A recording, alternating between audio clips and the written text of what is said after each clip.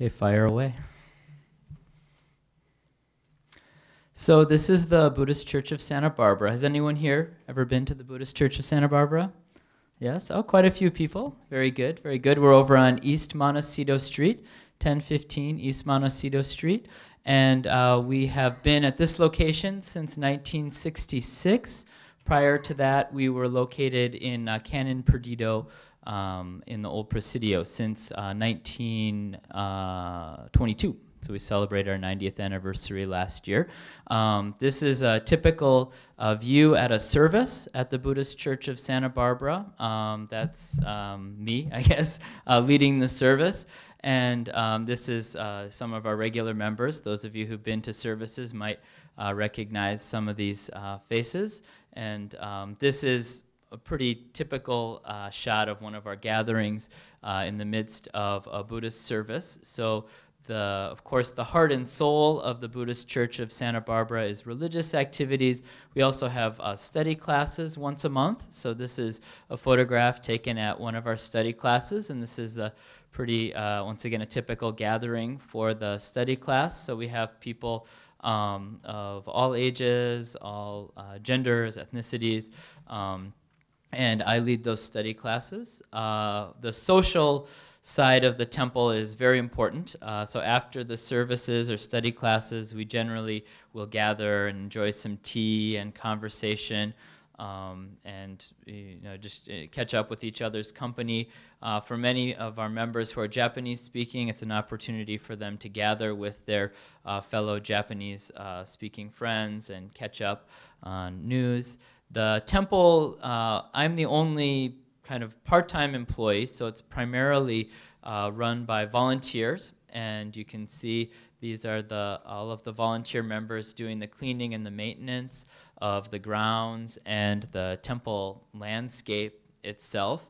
So uh, if you've been to the temple, you notice it's a beautiful grounds, beautiful gardens, um, and it's all maintained by the members. Uh, and they uh, work very hard and really keep it um, keep it looking nice and try to create a welcoming environment. We also have family activities at the temple, um, such as this is mochitsuki. Uh, mochi is a Japanese kind of pounded uh, rice treat that's made at the New Year time. Those of you who've spent time in Japan uh, probably had a chance to enjoy mochi. And these sort of um, kind of uh, fun seasonal cultural activities are one of the things that keep the uh, younger members involved in the temple. You'd notice in the photograph of the services, it tended to be more elderly members. Um, here we have a nice gathering of some children and young families.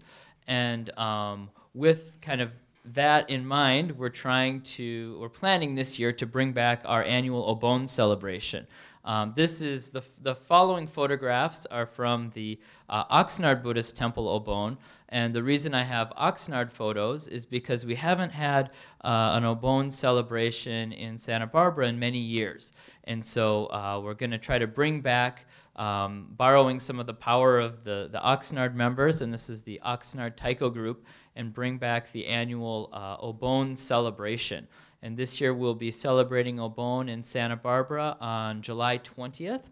Um, we'll have uh, services, we'll have uh, taiko drumming. This uh, taiko group is going to come and play the drums. We'll have some other cultural performances, but the real main uh, aspect of Obon is the uh, dancing and the um, the practice of obon dancing is a little different than uh, general kinds of dancing because obon dancing is to tend, intended to be participatory and not a performance. So you can see in the following slides you have people, once again, all ages, uh, men, women, uh, children, all kinds of people coming together and dancing.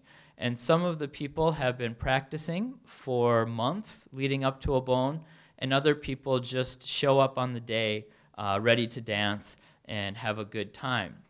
And the, the spirit of Obon dancing is not to think about one's own uh, skillfulness, whether one is doing really well, right on time, or clumsy.